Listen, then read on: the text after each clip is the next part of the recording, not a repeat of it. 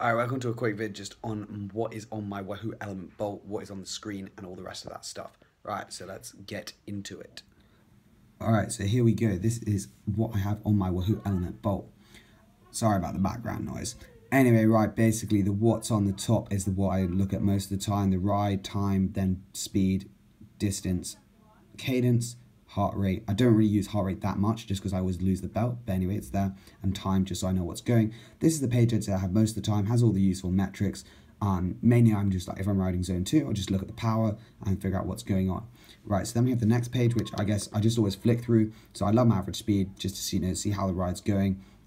Uh, temperature, always interesting just to see I mean, it's just a bit pointless, but you know, it's always nice seeing. Normal power, average power just lets me know how the ride's going, especially on endurance rides, which end up, I guess, being quite a lot of them. Just making sure that you're in the right power zone. Battery, I mean, the battery, you can actually, if you click this button here on the side, just where my thumb is, uh, you can get the battery out there as well. Sorry about this.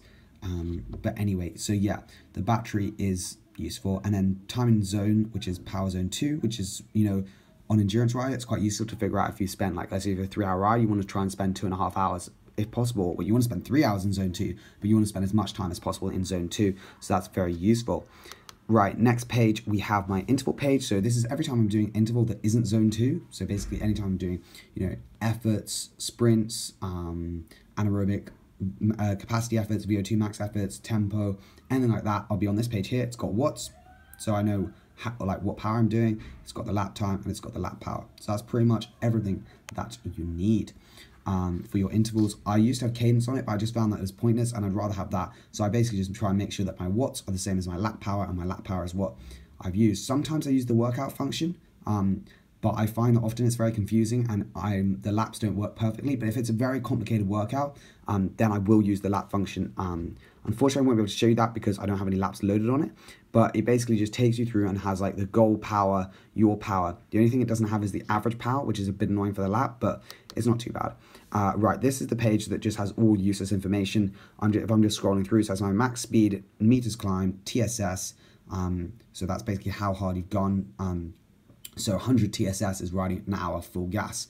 Uh, maximum speed, calories burnt, maximum watts, my best 20 minute power and that's my best five minute power and obviously the temperature again. Um, i just like knowing like what my power has been for the ride. So if i know like let's say in a race you might just click it 20 minute oh I did 300 watts for that or whatever. Um, or sometimes if you would like do a five minute max test you can't bother to wait to get home. It tells you this. So that's ideal. And then i just like having the rest of them just you know have a little look if I get a bit bored on the ride, but I don't generally spend that much time. I'll just flick through and just check what is going on. Anyway, these are the segments. I don't like live segments very much, so I often just mute them. Uh, they're only really useful if you don't have a power meter. So maybe on a mountain bike, I'd use them more, but on a road bike, I have my power meter, so I know what I need to do. Um, and it can be a bit annoying. I, it's nice that when it pops up the end of the time, but the pages on this here is always not really very useful because it doesn't have the power on it, and that's what I really generally pace on. Uh, next we have, which is pretty useful, um, especially if you're climbing big climbs that you don't know, and it's the altitude. So it basically tells you along the bottom, it will have like a little thing that goes up. Let's say this is the, the pr route profile. So if you have the route loaded on, you'll be able to see where you're going. Then you can think like, oh, you know, I'm almost at the top. So if you're doing let's say you're doing a segment effort that you don't actually know about. So I've done this, use, use this quite, it's quite useful before, but you're like, all right, am I near the top? Then you click on this page and you're like, all right, I'm just around the top. And then you can really, you know, give the beans or whatever. So I've got speed uh, and gradient. So that really, um, even if I'm not riding with power, you can then, you know, figure out. So if you're doing 16 Ks an hour and 10% gradient, you know, you're going decent if you're doing that for a long time. Uh, meters climbed, again, just useful. Elevation, so uh, maybe if I know how long the climb is, I know I, have got the climbs maybe 2,000 meters up, then if I'm at 1,800, I know how long I've got to go.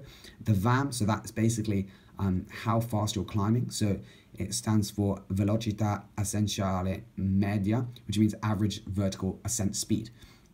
So basically, it's measured in meters per hour. It's something pioneered by Dr. Ferrari, and Tour de France riders ride about 1,800 meters per hour, more or less 1,600 to 1,800. So imagine a 1,600 meter climb. So let's say um, a climb which is 16 kilometers long at 10%, that will climb 1,600 meters, and they would be able to do that in an hour if they're going full gas. So it just allows me like a thousand is what you can climb at pretty easy, and for me like 1,500 maybe or 14. It depends on the, how steep the climb is, but 13 to 1,500 is normally like um to, uh, like a threshold for me. Um, it's not that useful, but it's always interesting to see. And then I just have my power as well. Uh, and I believe that is it. Oh no, we got maps. So I often use maps, especially here. Like I just I don't really know any of the roads here. So I have this on, I just have kilometers to go, which is always nice. Just like sometimes it's not nice because you've got realize you've got ages to go, but most of the time it's just quite reassuring to figure out um, like you know how long you have to go and all the rest of it and then just what so that if i'm riding in zone 2 i know i'm riding in zone 2 so that's pretty useful um, and i do rate the mapping function here as you can see it's got the full maps base maps and every single little tiny detail and every road on it automatically with the wahoo so anyway there we go. Cheers for watching. Hope you did enjoy what's on your wahoo screen or garmin screen or whatever sort of gps unit you have. I really rate this. Just does all the tricks. And um, I feel like it's quite important to have a very, I say the most important page is just this page here, which is my lap page, because then it means you can do laps properly and not guess about what power you're hitting. So anyway, cheers for watching, and I'll see you in the next video.